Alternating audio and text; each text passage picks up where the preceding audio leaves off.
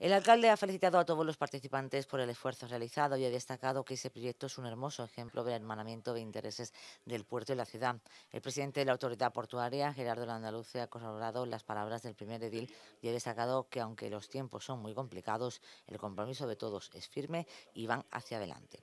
Uno de los temas de la reunión ha sido la presentación de un documento resumen técnico de la actuación que sintetiza la documentación básica que integra el proyecto del lago marítimo al objeto de facilitar su comprensión y tramitación administrativa ante los diferentes organismos oficiales que se impliquen en su desarrollo. La estimación económica del conjunto de actuaciones asciende a unos 70 millones de euros que se distribuirán por anualidades. Igualmente se han explicado los avances tras la última reunión, como es el caso de la adjudicación de la demolición parcial de la antigua lonja pesquera. También se acordó emplazar a los servicios jurídicos de las diferentes administraciones para ir perfilando convenios puntuales para el desarrollo de las obras, así como de los mecanismos legales que permitan actuaciones de conjunto en suelos de titularidades diferentes.